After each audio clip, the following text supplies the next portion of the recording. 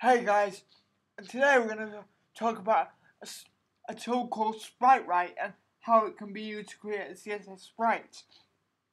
Now, before we start, I just want to say a couple of things. I've got some major English coursework due in for tomorrow, and I've just got a couple of fine points to check. So I haven't really got time for, to be doing this video, but the reason I'm doing it is because something cropped up in my school um, a, a, website that I'm building for my, for my school computing course. So that's why I'm doing this video because I need to I need to organize it anyway. So I figured I'd just show you guys in a video.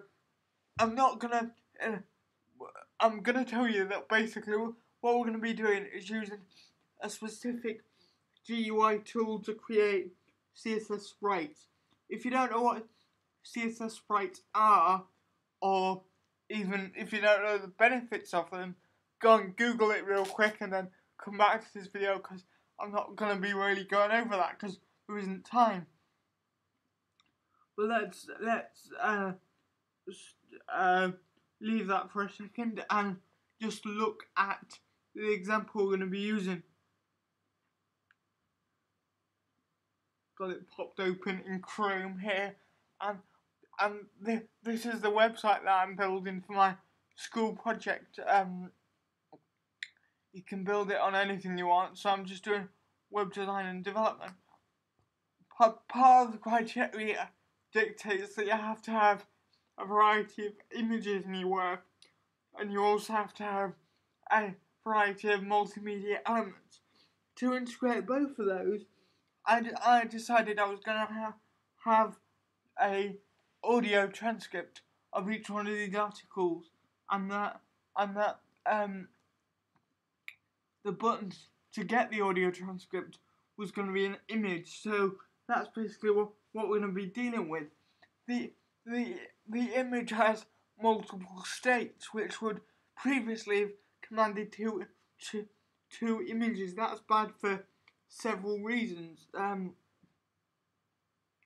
firstly, the there's the page lo- slower because there's more there's more to load two images instead of the technique we're going to be doing, which is just to load one image and several other things like that. So let's look at the code we're going to be or that we're dealing with to create that.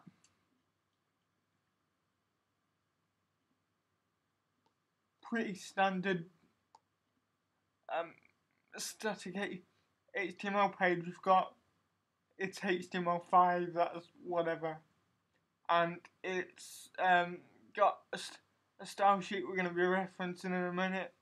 The shiv script for HTML5. Um, we've got navigation, and this is the important bit. This is that link. It doesn't link any anywhere at the moment, but it will do. It's got class of audio that we're to tag it, and that's all that's in the HTML. So that if a if a screen reader comes to this or something that doesn't doesn't um re- read the CSS, that's all it's going to stay. So we're going to remain nice and accessible.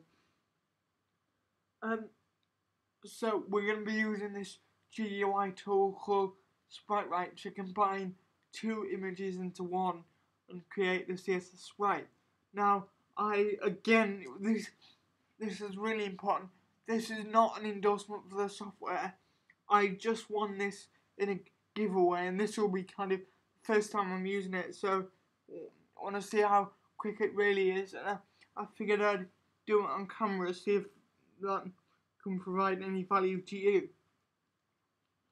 So what we're going to do is we're going to open up SpriteRight and we're going to create a new document. Let's just pick some arbitrary size, 512 by 512 sounds good. Um, and let's drag in the um, two images that we want to combine into one. We've got uh, th- that's a remnant of a previous time which I tried to do this. So let's get rid of that. Um, we've got the normal image and a hover image. L- like I said previously, the, the these would have been separate graphics, but not not with this Sprites. So what we're gonna do is we're just gonna uh, get them both and just kind of dr- drag them over here. It's gonna put them on the canvas for us.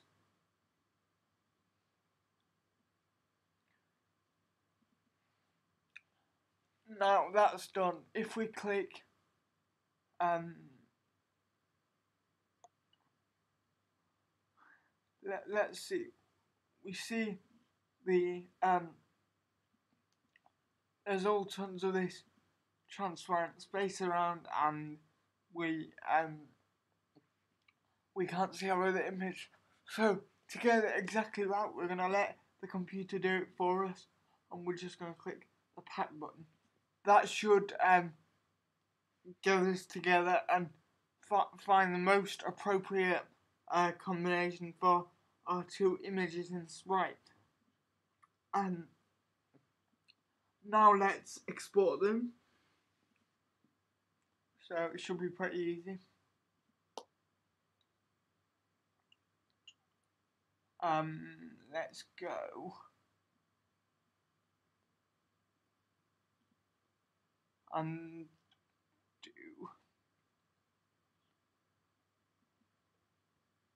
um we'll just call it sprite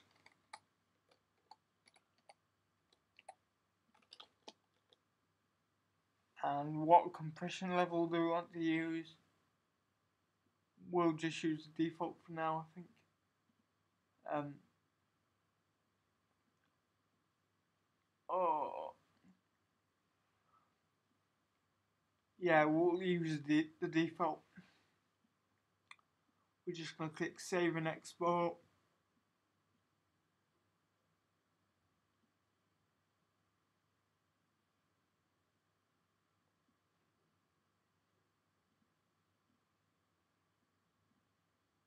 There we go. So we've we've got um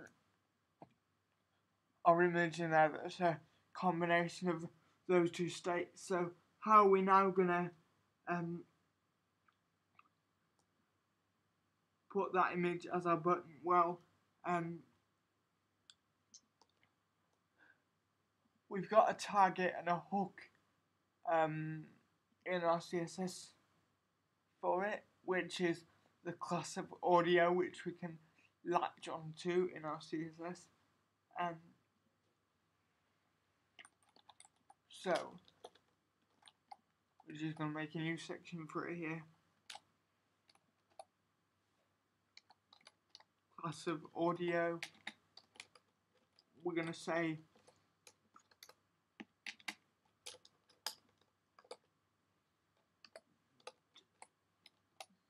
display. Oh, actually no, let's not do that because part of what SpriteRight does is it generates CSS for us. So we're, we're trying to hurry up as much as we can here. So let's use it CSS. We can do that by opening up this little drawer here and it'll, it'll give us some suggested CSS. and if we click on any one of the images, it'll it'll tell us what what to use for that image. So um, uh, let's. The height and width are going to be important and display block.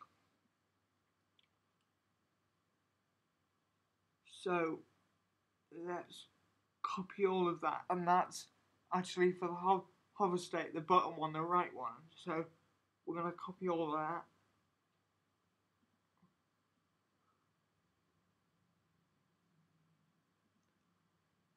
Oh, actually, no.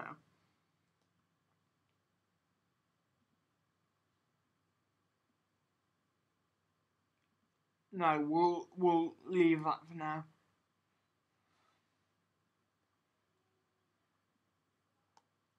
So we're just gonna say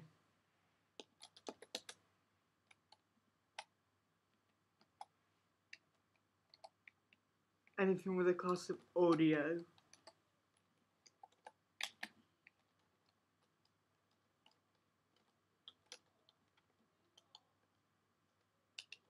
has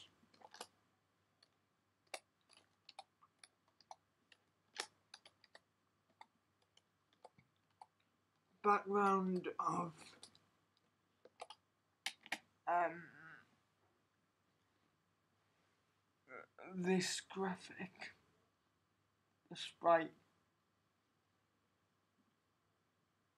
PNG.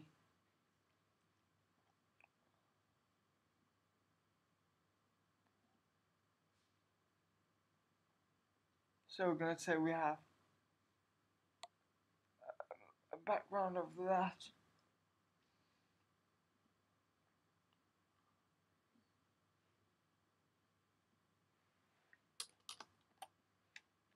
So that's in there, okay.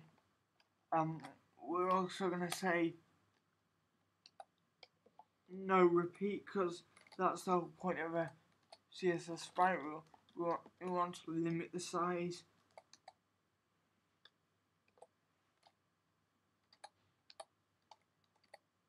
Um, we're going to say display block because we need to be able to set height height and width and normally anchor links are um, display in line and to be able to set height and width we need it to be display block. So we're going to say display block.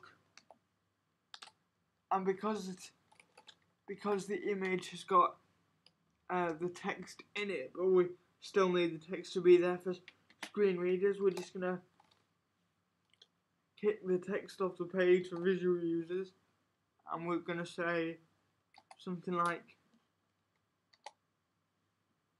text indent.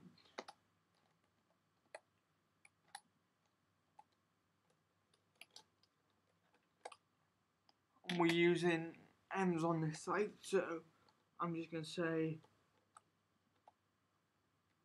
minus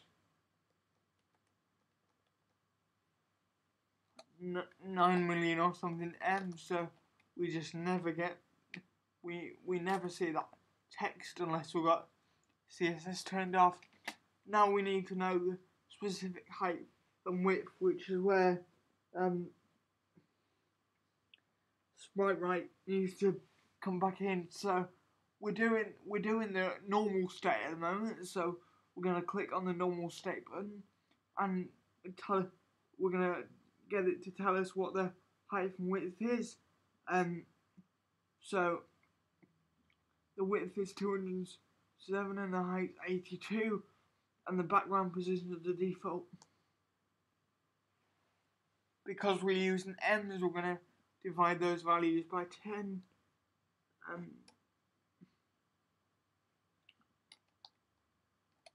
so width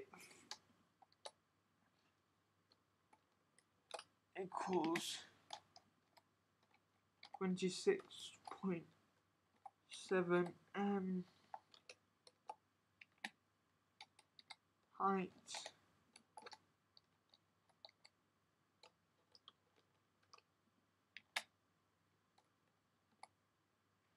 Eight point two m, and just to be super sure, we're gonna say um, overflow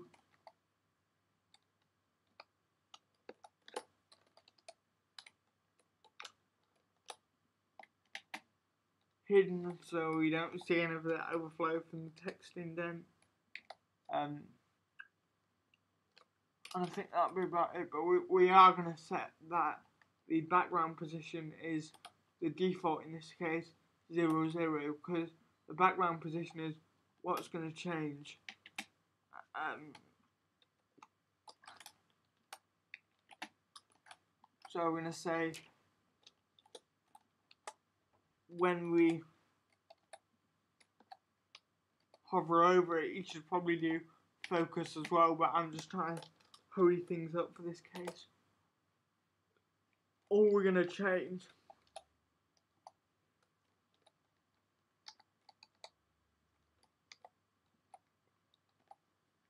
Is the background.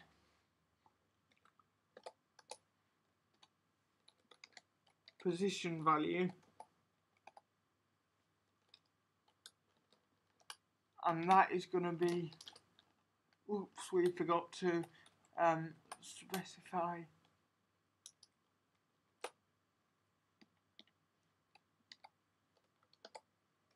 hover so what's our background position going to be when we hover well we want we want this bottom one this time so um, let's select that it's the same height and width obviously but the the background position this time, instead of being 0, 0, is going to be minus 84 pixels. We can, we can watch that change.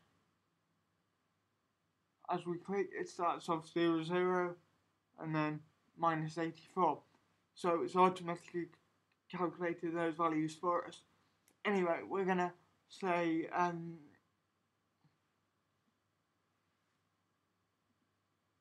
and remember we're working in M's so we're going to divide the, those values by 10, um, which is going to result in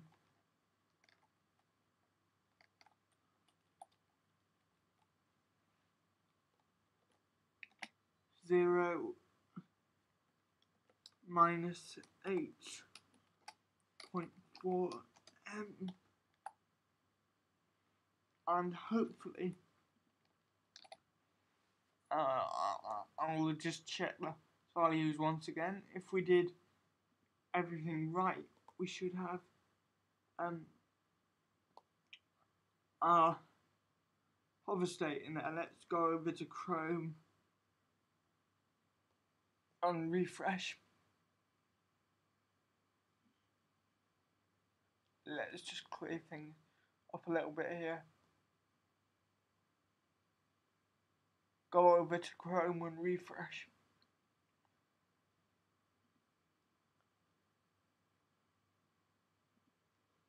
We start off with our normal state and then we go over to our hover state. But it looks like there's there is a bit of a problem. We've still got that text showing up there. So uh, what did we do wrong there? I wonder.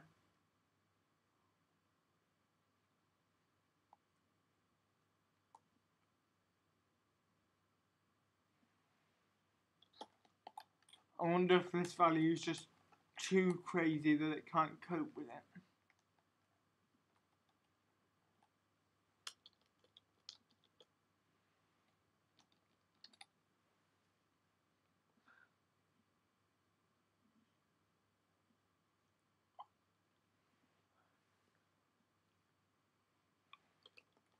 Refresh.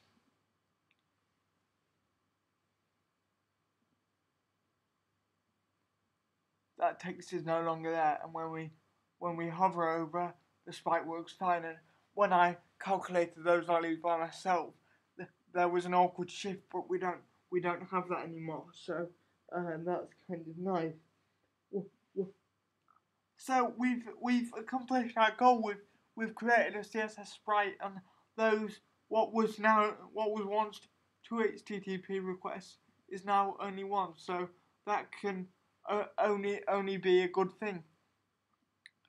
So anyway, guys, thanks for watching. More videos to come soon, and I'll uh, see you in the next one. Bye bye. Bye, guys.